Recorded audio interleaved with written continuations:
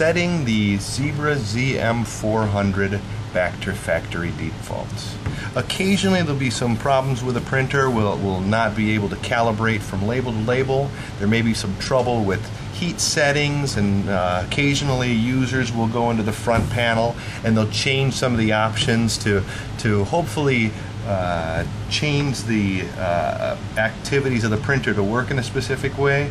However, often that makes a mess of the material that's being printed on in the printer. So what we generally will suggest when we're starting any type of mode of calibrating labels and testing a printer is setting that back to factory defaults. The way to do that on all Zebra printers is as you turn the printer on, you will hold both the feed and the pause buttons down and hold those down while you're turning the printer on.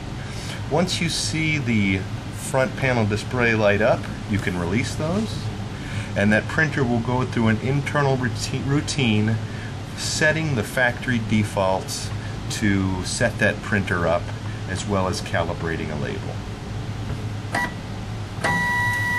And we have now been set back to factory defaults and you'll notice that it has been calibrated specifically at the middle of that next label.